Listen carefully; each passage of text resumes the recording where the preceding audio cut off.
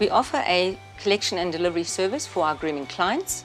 This is done in our affectionately called Spa Limo, which is an air-conditioned vehicle that has been custom fitted with safe, secure and separate little compartments. This ensures that animals travelling in the vans will never be able to contact each other and injure each other.